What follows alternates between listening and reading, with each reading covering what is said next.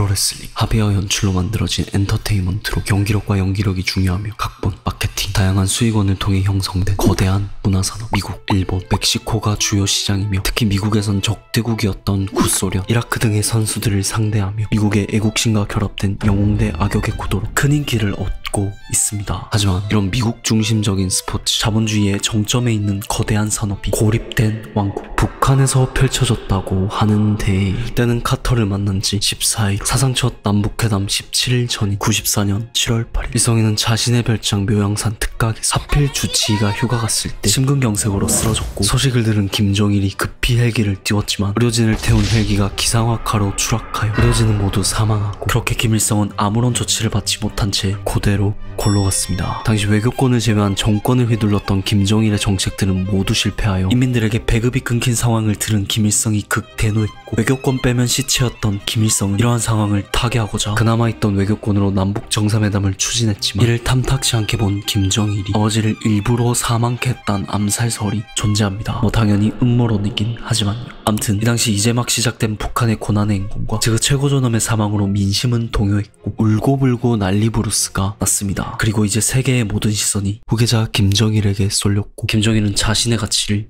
증명해야 했습니다. 그래서 북한 내부적으로는 김정일의 북한 세계적인 축제를 개최할 능력이 된다는 걸 보여주기 위해 또는 동요하는 민심을 잡고 자신의 리더십을 보여주기 위해 외부적으로는 세상에 자신의 새로운 권력과 영향력을 과시하기 위해 또는 자신들의 체제가 아직 건재하다는 것을 알리기 위해 또는 김일성의 사망이 북한의 마지막 불꽃이 꺼지는 상징적인 사건처럼 비춰지는 것에 대한 발악으로 평양 국제문화축전을 준비합니다. 평양 국제문화축전? 아, 그 88올림픽 보고 지그들도 세계적인 축제 열 수 있다고 생각했어. 지그 GDP 30% 꼬라박았던 그 대회? 어허. 그건 우리 아버지가 말아먹었던 세계 청년 학생 축전이고 나는 국제문화축전. 보나마나 이름만 바꿨겠지. 아니, 이번엔 레슬링 대회 연다. What? 레슬링? 올림픽에서 봤던 그 레슬링? 너 무도에서 봤던 프로레슬링. What the? 북한에도 프로레슬링 있나? 자국 국민들이 자본주의 문화를 접하면 총살시켜버리지만 자신이 자본주의 문화를 향유하는 건 너그러웠던 김정일답게 자본주의의 전유물인 프로레슬링도 꽤 좋아했고 기억하시는 분들 계실지 모르겠지만 일본에서 프로레슬링으로 큰 인기를 끌었던 역도산이 북한 출신입니다. 그리고 선과 악을 단순하게 표현하는 프로레슬링은 김정일의 정치적 목적에 부합했습니다. 그래서 북한은 역도산의 제자이자 일본 프로레슬링계에 살아있는 전설 스포츠 평화당 참의원이었던 덕돌이 안토니오 이노키와 접촉합니다. 당시 이노키는 횡령 사건에 연루되어 참의원 재선에 위험한 상황이었고 이를 타개하기 위해 자신이 평생 몸담았던 신일본 프로레슬링 협회를 활용하려 합니다. 한편 지구 반대편 미국에선 WWF가 업계 1위로 군림 중이었는데 당시 이들의 가장 큰 경쟁자는 WCW였고 WCW는 업계 1위를 향해 고군분투 중이었습니다. 그래서 이노키는 평소 알고 지내던 WCW 부사장 에릭 비숍에게 もしもし 어예 사장 어이 턱돌이 잘 계셨는가? 혹시 들으셨어? 조만간 큰 판이 열린다던데 어디서요? North Korea なに? 되게 특이하다 됐으네 그것도 세계 평화 이벤트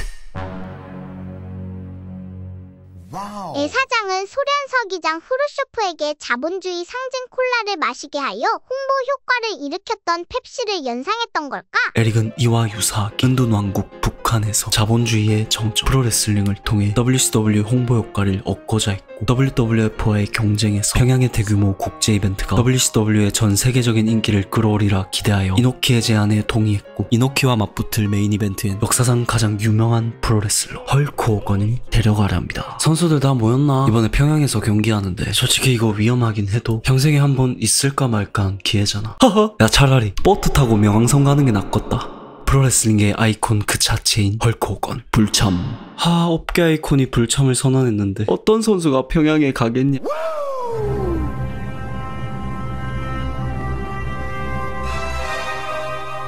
레슬링의 레전드 릭플레어. 마 형님아. 제가 있지 않습니까? 마 상황이 이미 벌어졌으니 어쩌겠습니까? 함에 보입시다. 그렇게 헐크 호건에 버금가는 위상인 릭플레어가 호기롭게 함 가보자고 천명했고 이에 WCW 스타 선수들도 하나둘 동참하여 1995년 4월 이노키의 신일본 프로레슬링 선수들과 릭플레어를 필두로 한 WCW 선수들이 북한에 입국합니다. 어 예민아 헐크 호건 없으면 급이 안 되지. 급되는 사람 데리고 와 그리하여 이노키와 비숍 모두와 친분이 있고 프로레슬링 팬이어서 이벤트 경기에도 참여했던 권투 레전드 무함마드 알리가 일본과 미국의 프로레슬링 선수들과 함께 북 북한으로 날아갔습니다. 그러나 북한이 보낸 비행기는 군 수송기였고 안전벨트가 없다는 걸 확인했을 때 그들은 잣됐다는 걸 감지했습니다. 미국 레슬러들이 처음 느낀 북한은 거대한 콘크리트 껍데기였고 평양에 내리자마자 여권을 모두 압수당해 릭 플레어는 매우 두려움에 떨었다 하며 각자에게 배정된 요원에게 24시간 감시하에 놓인 채 즉시 사진사가 대동된 강제 평양 투어가 시작되었습니다. 가는 곳마다 미군이 총검으로 북한인들을 찌르는 그림 같은 것들이 있었고 북한의 기념물과 추모관을 방문해야 했으며 일주일 내내 항상 정장을 입어야 했고 호텔 주변도 돌아다닐 수 없어 호텔 방에 갇혀 지내야 했습니다. 또한 얼마 전 퇴진 김일성에게 수십 번 우상 표현을 강요했고 북한은 모든 면에서 최고여서 누군가가 그렇지 않다고 말한다면 최후를 맞이할 거다 라는 협박까지 듣게 됩니다. 슈퍼스타도 두 손을 모으게 하는 북한의 위험을 보라. 하지만 같이 동행했던 알리는 북 한의 이런 행태에 그야말로 개빡쳐서 너그 김일성 김정일이 얼마나 잘났는지 내 알 바 아니다 라고 북한 관계자들에게 소리쳤단 위험쩌는 일화가 있는데 알리는 초슈퍼스타라서 이렇게 말해도 북한 당국은 그를 어떻게 할 수가 없었지만 프로레슬러 스콘 노터는 북한에서 무려 북한 욕을 해서 진짜로 뒤질 뻔 했습니다.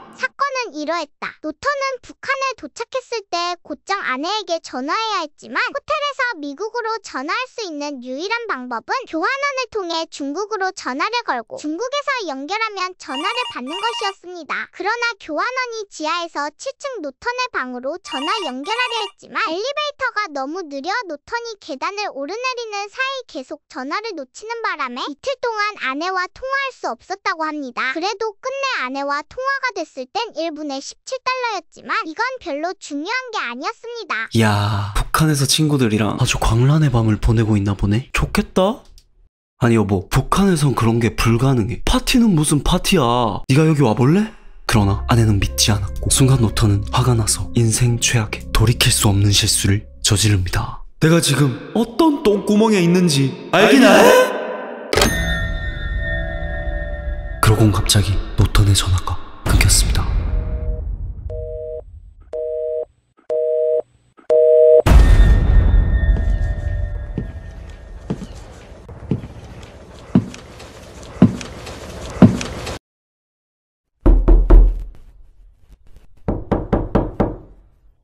누구세요?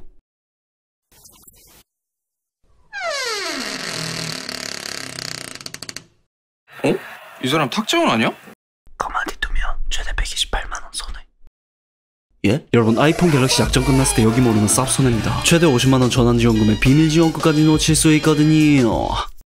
아니 갑자기 무슨 나정당에선 부가 서비스 가입 없이 지원금 채들어봐 심지어 최신형 아이폰 갤럭시를 주문 당일 받아볼 수도 있습니다. 알뜰폰도 20곳 이상 비교 상담. 쌉 가능. 여기서 제일 중요한 혜택. 약정 끝난 인터넷. 가전 렌탈 가만히 두면 최대 78만원 손해인데요. 인터넷 TV 최대 48만원. 가전 렌탈 최대 30만원. 둘 다 바꾸면 최대 78만원을 설치 당일 받을 수 있습니다. 법이 정해준 지원금 못 받는 호급제? 만약 다른 곳보다 지원금이 적다면 차액의 120%를 돌려준다는데 역시 어깨 1위인 이유가 있죠. 아정당은 국내 최대 규모 대리점이라 믿을 수 있고. 365일 주말에도 밤 10시까지 상담 쌉간. 야야야 노토나 어디가? 나 아정당이는 한국으로 이사 가려고. 이사? 홈서비스 전문기업 아정당 이사도 유명합니다. 일을 얼마나 잘하면 물품 파손 시 본사에서 최대 천만 원까지 보상해주고. 혹시라도 불만족스러우면 이사 당일 전액 환불. 보장 이사도 가능하다고 하니 마지막으로 아정당 유튜브 23만 구독만 해도 100만 원 상당 최신폰 증정 이벤트 참여가 가능한 휴대폰 인터넷 가전 렌탈 이사 청소까지 아정당하게 받자 아정당 자 다시 돌아와서 그렇게 문이 열리더니 무장한 군인들이 몰려와 말했습니다. 똥구멍 북한에 대해 똥구멍이라 했나? 그들은 노턴을 데리고 나와 지하로 내려갔고 노턴은 상황을 설명하며 혹시 도청 중이십니까? 전 그냥 아내와 다툰 것 뿐입니다. 북한 여자들은 남자와 다투지 않는다. 응? 노턴은 그제서야 이 미친놈들에게 두려움에 떨기 시작했고 아무도 내가 무장군인들에게 둘러싸여 어디에 있는지 모른다 라고 느꼈고 그때 높은 사람으로 보이는 한 남자가 걸어 들어와 군인들과 대화하자 아 이게 끝이구나 하며 체념했지만 그 높은 사람은 동무 더 이상 북한에 대해 나쁜 말 하지 말라 라고 말했고 그렇게 노턴은 다행히 방으로 돌아 왔고 아내에게 상황을 설명하려 전화를 걸었지만 북한은 노턴의 전화를 끊어버렸습니다. 이를 전해 들은 메인 이벤트 선수 릭 플레어는 매우 두려움에 떨었다고 합니다. 그렇게 1995년 4월 28일 자본주의 정점에 있는 스포츠 프로레슬링 경기가 이틀 동안 능라도 경기장에서 그 서막을 올리게 되었습니다. 북한은 지금 인민들에게 세계에서 얼마나 그들이 존경받고 얼마나 영향력 있는지 보여주고 싶어 했기에 첫째 날 16만 명, 둘째 날 19만 명을 입장시켜 비록 강제 동원된 관객이라 공식적으로 인정되진 않았지만 비공식적으로 아직까지도 레슬링 경기 역사상 최대 관중이 바로 여기 북한의 대규모 정치쇼에 동원되었습니다. 하지만 실제 경기가 시작되자 상황은 조금 이상한 방향으로 흘러갑니다. 관중들이 침묵했기 때문이죠. 섬뜩할 정도로. 그리고 다른 문제는 첫 경기에서 투콜드 스콜피온 성조기가 그려진 경기복을 입고 등장한 것입니다. 관중 반응은 당연히 살벌하기 그지없었으나 상대 선수 크리스 벤와와의 환상적인 경기력으로 관중들이 욕하다가 나중에는 재밌었는지 그냥 조용히 봤다고 합니다. 또한 이때 여성부 경기가 열렸는데 기근으로 고통받는 나라에서 북한 남자들보다 크고 거대한 여자들의 모습은 당연히 놀라운 광경이었기에 간간히 환호가 나왔으나 이런 예외를 제외하곤 대체로 아무런 반응이 없었습니다. 게다가 tag team으로 스타이너 형제, 로드워리어 등이 등장해서 레슬링 팬들 입장에선 쟤들이 여기 왜 왔지? 라는 반응이 나올 정도의 선수들이 줄줄이 경기했습니다. 그러나 관중들은 그저 관심이 없어 보였고 메인 이벤트가 다가오면서 상황은 더욱 암울해 보였습니다. 그렇게 대미를 장식할 역도산 제자 안토니오 이노키 대 릭 플레어의 경기가 그 서막을 올렸고 프로레슬링의 단순한 선악 구도에서 북한 인민들이 누구를 응원해야 할지는 명확했습니다. 비록 프로레슬링은 잘 몰랐지만 역도산은 김씨 정권을 위해 미국인들을 처치했다고 선전했기에 북한에선 반제국주의 영웅이었습니다. 그래서 역도산이 사망한 지 30년이 지난 바로 지금 그의 제자 안토니오 이노키가 스승을 대신해 고국으로 돌아와 다시 한번 악당 미국을 물리치는 엄청난 사건이었습니다. 금발의 파란 눈 릭 플레어 반짝이 옷을 입고 등장한 미국인이 링 위에 올랐을 때 북한 인민들은 그를 경멸의 눈빛으로 바라봤고 이노키의 등장엔 처음으로 관중들이 환호했습니다. 그 순간 이노키가 일본인이란 거 중요하지 않았습니다. 그는 미국이란 악당을 물리치기 위한 북한의 영웅이자 김정일의 정치적 도구였을 뿐입니다. 즉 이건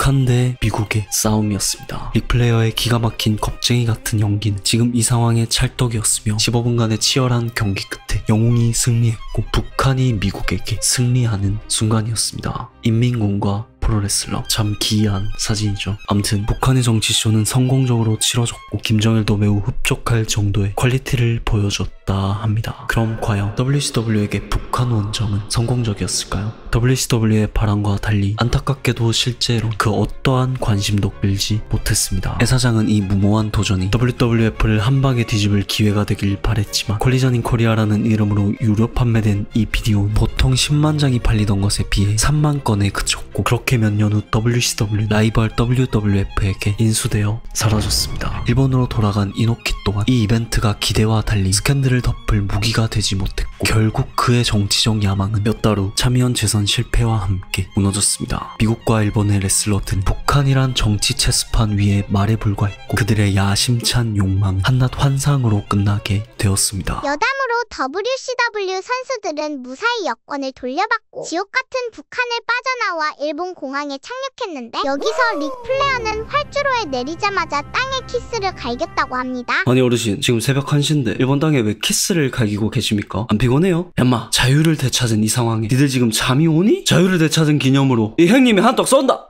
이런 발언을 남긴 릭플레어는 WCW 선수단을 데리고 새벽 1시에 도쿄에서 밤새 술을 퍼마시며 광란의 freedom night를 보냈다고 합니다. 그리고 김정일은 릭플레어의 경기에 얼마나 감명을 받았던지 세 번이나 재방문을 요청했지만 릭플레어도 얼마나 평양 생활이 좆같았는지 그냥 씹어버렸고 이로써 그는 자본주의 국가의 자본주의 문화의 끝판왕인 프로레슬러임에도 북한에게 공식 초청을 세 번이나 받은 전무후무한 인물로 기록되었다고 합니다.